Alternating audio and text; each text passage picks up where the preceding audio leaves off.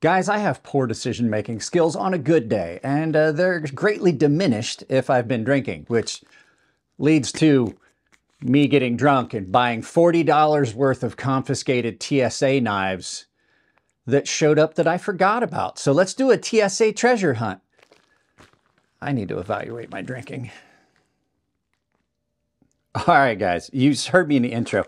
This is a box of confiscated knives from the TSA, supposedly, but it came from someone named Baseball itself. And I'm going to tell you right now, this is a ripoff. This is a scam. These may have been confiscated knives, uh, but we're going to go ahead and get that out of the way. I did open the package just to make sure there was no identifying information in there. It says here, thank you for your purchase. As a token of gratitude, I included one extra for you. I'm happy to have you as a customer and hope to deal with you again. You will not, uh, because this is the extra that they sent me. So we're going to do a little bit of TSA treasure hunting. So give me a second and we're going to start cracking into this. So now you can get these chicken is here because just because well this is one of the dumbest things. I, like I said, I got drunk one night. I ordered this, forgot I ordered it.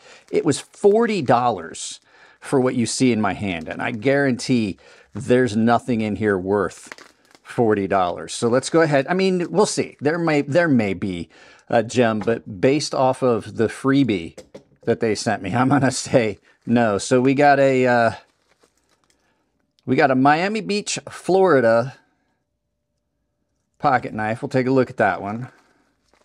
Uh, another knockoff Swiss Army knife. This isn't an actual Swiss Army knife. Neither one of these are. Uh, what else we got here? Another knockoff garbage Swiss Army knife. We're going to look at these and see if any of them are worth anything. A Nautica knife. Uh, and that's it. So guys, there's only five knives in here. I paid $40 for this. Neither, not a single one of these knives is worth we paid, but we're going to look at them. So let's look at Josie's. I know it's Jose. Let's look at Jose's knife that he lost at the TSA. And it's obvious that he was, these are all just going to go in the trash. I'm probably going to get pink eye from doing this. Um, yeah, this is just a shitty, crappy, uh, knife that you would pick up at a little shop. The nail nick's on the wrong side on this. This is stainless china. Oh, you hear that? I already broke it.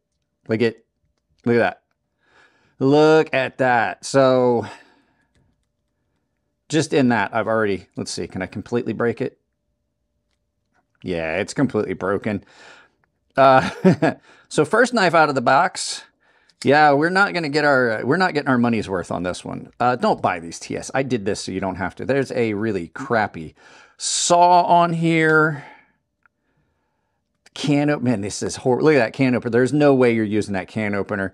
This is horrible. Oh my. Yeah, that's well, that's trash. Thanks, baseball itself. Don't buy these TSA confiscated knives. I'm pretty sure that this guy went to a swap meet and just bought a bunch of stuff off a table and said they were TSA confiscated knives. Uh, let's look at this one. So what do we got here? We have another fake Swiss Army knife, not even branded at all. Doesn't have a logo on it. Let's see. Uh, I wish I was wearing gloves because you know what, guys? There's a toothpick in this. And you know the kind of person that would carry one of these fake Swiss Army knives, well, that's the kind of person that would use the toothpick that comes with a Swiss Army. Oh, that is, this is horrible. Like, I can't even get that back in correctly. Uh, this is bad. I saw, um, let's see. Yeah, look at that. Already, already it's, it's, it's developed a little bit of blade play. So this is this is the same knife. These are the same knife. This is the same knife rebranded. I mean, you can look at it and see they're identical. These are the same knife. This is another just shitty little crappy little swap meet knife or knife that someone picked up at a little shop on the side of the road. I was hoping that maybe we would get a, a good one in this batch. Let's see. What's this? Oh, here we go. Here we go. Look at this. Look at this. And it's sticky. Look at the grind on that knife. What in the name of everything that is holy happened to this knife? Like that is, that is from the factory. Someone paid money, and I don't know what's on this, but I definitely want to wash my hands now. Uh, what's this? Is this even a tool? Is this, is this, okay, you guys tell me, is that like a golf thing? I don't know. I don't play golf, so I don't know. Is, is this, is, is this golf stuff? This is a golf knife. I think this is a, what is, what in the name of God is that? Is this for cleaning out like the treads on you? This, this is, well, this is, this is trash. Absolute trash. Oh, uh, guys, I got to go wash my hands. Hang on. All right, guys, I, I, just got back from washing my hands. I actually looked to see if I had rubber gloves. That's how bad this is. Um, oh, let's go ahead and look at this one. They're all the same knife. These are all the same knife. So this, I just did this. There you go, stainless. Oh, wow, look at that. Look at that sharpening job on this puppy. Look at that. Somebody Somebody put that on a work sharp. On a and it's I got news for you. This powered work sharps are horrible. Look at that. That's what it did, and it still isn't sharp. And they've ruined this knife. But then again, I don't think you'd be able to. Oh yes, the significant amount of blade play in this. Let's see.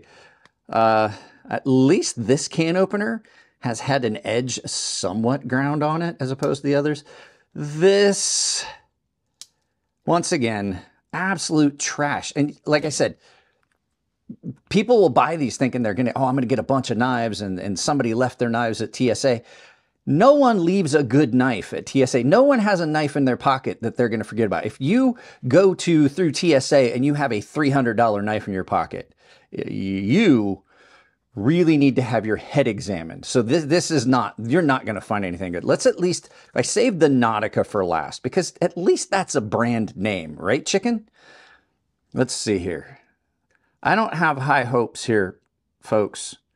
Uh, just just looking at that, I, I don't have very high hopes on the overall construction that we got going on. What is this? What's this first one? Was, those are scissors. You know what? I didn't cut with the scissors the scissors cut. Well, a little, kind of. Uh, so let's see. Let's see the can opener. Can openers are, oh, it's so gritty. Can openers are usually a pretty good judge of the quality of one of these like Swiss Army style knives because uh, that's that's not very good. Let me let me show you what an actual Swiss Army knife can opener looks like. I've got mine over here. They're usually really, really good. They're very, very functional. Uh, this is what the can opener on a Swiss Army knife looks like. These are really good. My Swiss Army knives have open cans and things like that. These are great, great can openers. These, well, some knife companies have can openers on their Swiss Army style knives and others, well, they fail. Uh, let's see, what else have we, what other functions have we got here? What is this? Is this is a thing with a hole in it? And then this is a, none of these are sharp, by the way. So like, like I'm sticking my finger in there and they're hard to get to. Uh, that is a, a nail file that is really not a nail file. It's just kind of jumped. It's not actually a file. You got a corkscrew that I wouldn't trust to pull a cork out with. All right, let's go ahead. We'll look at the blade. And once again, the nail nicks on these stainless china, they're all so sticky. I looked for gloves. I was hoping we had gloves. We do not. Um, why why is it bent like that? Why is it why is it curved? What is this is wow. Wow, I am uh I am I, I, I, I'd like to say I'm surprised, but I'm not. Crappy little saw on this. What else? Scissors, can opener, screwdriver with a bottle opener. That is